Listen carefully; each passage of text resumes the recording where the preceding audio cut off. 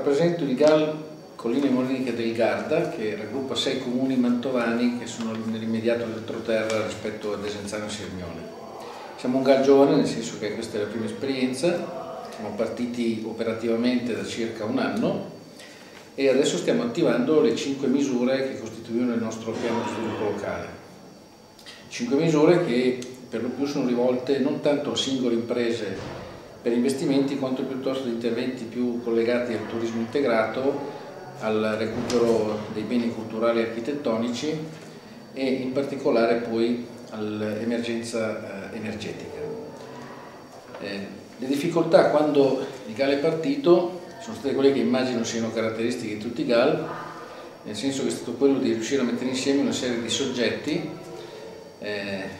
poco abituati a lavorare insieme, anzi alcuni dei quali si vedevano in termini più di concorrenza che non di sinergia. Comunque la fase poi è stata superata e oggi credo che ci sia un livello soddisfacente di collaborazione fra tutti i soggetti. Il ruolo principale è giocato dai sei comuni che costituiscono il GAL, i quali esprimono i loro sindaci tutti e sei nell'ambito del Consiglio di amministrazione. Eh, l'idea portante del nostro piano di sviluppo locale è legato, come dicevo prima, da un lato all'aspetto del turismo integrato, ovviamente, eh, avendo un bacino turistico eccezionale come il lago di Garda a 3 km con le sue 7 milioni di presenze annue di turisti, quindi insomma, vi lascio immaginare questo cosa voglia dire per i prodotti enogastronomici eh, della nostra area. E da un lato quindi questo, dall'altro il problema energetico. E qui vale la pena di fare una precisazione brevissima, eh, sulle colline non c'è acqua, Siccome serve un sistema di irrigazione molto avanzato per il tipo di produzioni che ci sono, vite, olio, eccetera, eh, tutta l'acqua viene pompata dal, praticamente dal livello pianura e quindi ci sono dei costi energetici eh, straordinari. Irrigare un ettaro in collina costa circa quattro volte la stessa area da irrigare in pianura. Per cui buona parte del piano è stata predisposta per affrontare il problema da due punti di vista uno, interventi diretti sulle imprese che migliorano i loro eh, sistemi di irrigazione, in particolare che abbandonano il sistema a pioggia per andare a quello a goccia. L'altro è stato quello di un forte intervento nei confronti del consorzio di bonifica dei Colli Morenici perché migliori a sua volta i propri impianti, perché migliori il proprio governo del territorio dal punto di vista eh, idraulico e in questo senso si ha la presunzione di poter arrivare ad un abbattimento di circa un milione e mezzo l'anno di costi energetici per l'intera area. Questo ci sembra comunque il dato eh, essenziale.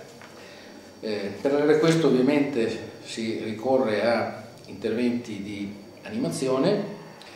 il principale l'abbiamo in corso in questo momento, siccome sono partiti i bandi di cui parlavo prima in materia di risparmio idrico,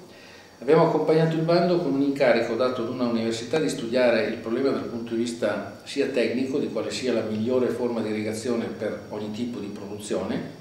e dall'altro anche che fornisca alle singole aziende interessate un piano di compatibilità economica col bilancio dell'azienda.